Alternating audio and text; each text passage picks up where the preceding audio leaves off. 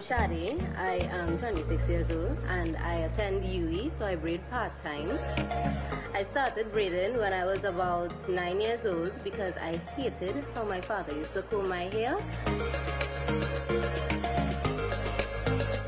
So I started practicing on my dolls and then on myself and on my friends by the time I got into secondary school. By the time I started attending UWI, I started braiding part-time so that I could assist my dad in funding me through school because I didn't want to fully depend on him as he was a single parent. I was supposed to get a job for the July-August vacation, but I didn't. Candace offered me the opportunity to braid at her salon on Kitchener Street in Woodbrook, which is called Where Beauty Lives.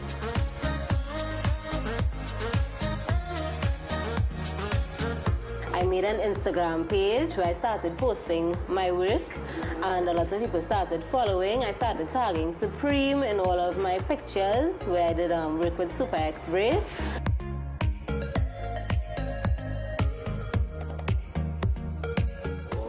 I prefer to use Supreme Super X braids because it gives me the look that I want and the look that the client desires. Um, it doesn't tangle much and they have a wide range of colors that I could choose from which makes it even better especially around carnival time when people like to stand out and um, to match with their costumes and things like that.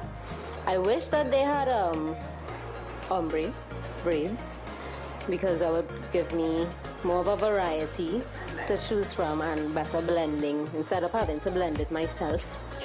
But most importantly, I love the finished product of Super Braids.